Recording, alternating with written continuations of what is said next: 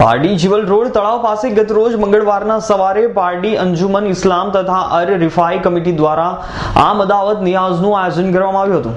Pardi Chival road તળાવ પાસે ગતરોજ મંગળવારના સવારે પારડી અંજુમન ઇસ્લામ તથા અર રિફાઈ કમિટી દ્વારા આમ દાવત નિયાઝનું આયોજન કરવામાં આવ્યું હતું. આ દાવતમાં પાલિકા પ્રમુખ રતનબેન પટેલ, અલી અંસારી, ઇકબાલ મલેક, બાબાભાઈ મણિયાર, આરીફ દમણિયા, સોહેબ મણિયાર વગેરે હિન્દુ મુસ્લિમ લોકો આ આમ દાવત કાર્યક્રમમાં સાથે મળી ભોજન લીધું હતું અને કોમી એકતાનું ઉદાહરણ પૂરું પાડ્યું હતું. તેમજ આજ રોજ રાત્રિના બરોડાના સૈયદ કમાલુદ્દીન બાવા અને પીર સૈયદ નૈયર બાવાની ઉપસ્થિતિમાં રાતીબ કાર્યક્રમનું આયોજન પણ કરવામાં આવ્યું હતું.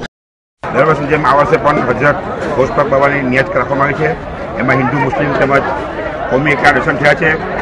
આ નિયત તેમજ આવતીકાલે રાતી રિફાઈન જલસો થશે, તેમાં બરોડાના સૈયદ કમરુદ્દીન બાબા તેમજ તેમના છોકરા નૈયર બાબાની હાજરીમાં રાતી રિફાઈન જશો થશે અને મોટી સંખ્યામાં લોકો જોડાશે. આ આમ નિયાજ છે, મહાપ્રસાદ છે, દરેક હિન્દુ મુસ્લિમ આનો લાભ લે છે અને કોમી એકતા થાય છે. અમૃત પટેલનો રિપોર્ટ, પારડી.